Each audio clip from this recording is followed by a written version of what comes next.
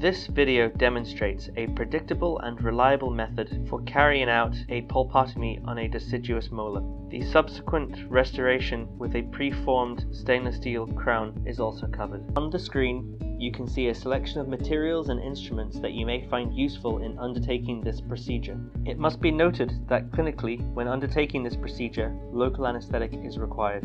Rubber dam should be used when undertaking a pulpotomy. This will protect the airway, increase patient comfort, and reduce the chance of bacterial ingress. Thread floss through the holes on the clamp. This accommodates retrievability in the event of aspiration. Gently try the clamp on the tooth.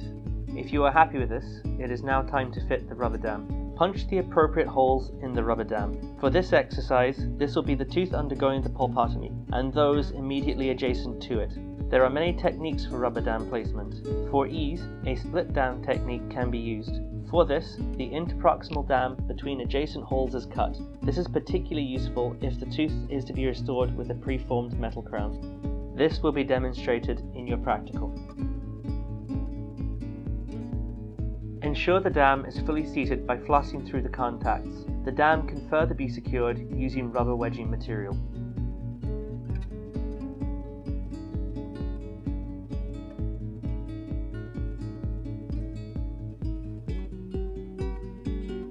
Gain access to the caries using the diamond fissure burr within the high-speed handpiece. Ensure that you establish clean margins circumscribing the cavity.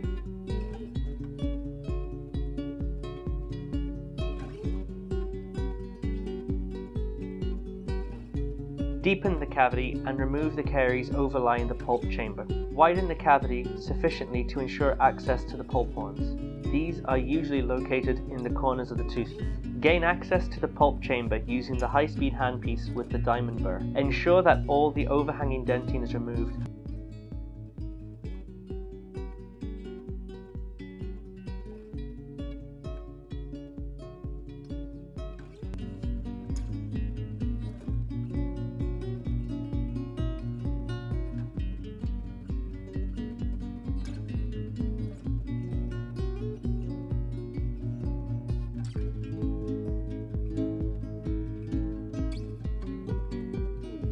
At this point, you should observe bleeding from the pulp. If bleeding does not occur, and the pulp appears necrotic, then it can be assumed that the pulp is non-vital and a pulpotomy would not be the appropriate course of treatment.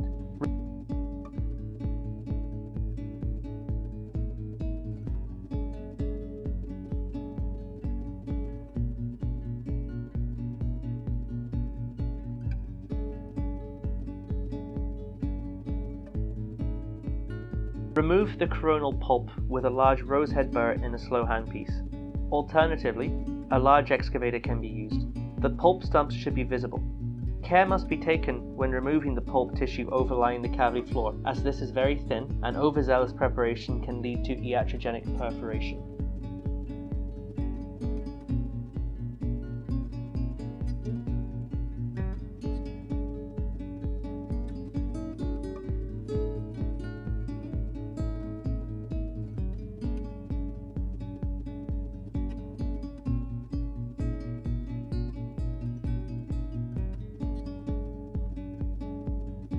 When you are happy that the inflamed pulp has been removed, it is time to achieve hemostasis. For this, place a cotton pellet soaked in ferric sulfate onto the remaining pulpal tissue and canal entrances. Use tweezers to deliver the cotton pellet into the access cavity, pressing firmly. Leave the ferric sulfate in contact with the pulpal tissue for 1 to 2 minutes.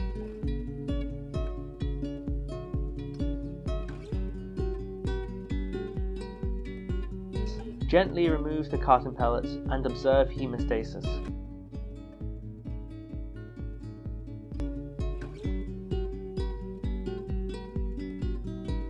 Fill the pulp chamber with a zinc oxide eugenol material. Use a flat plastic and a plugger for packing this.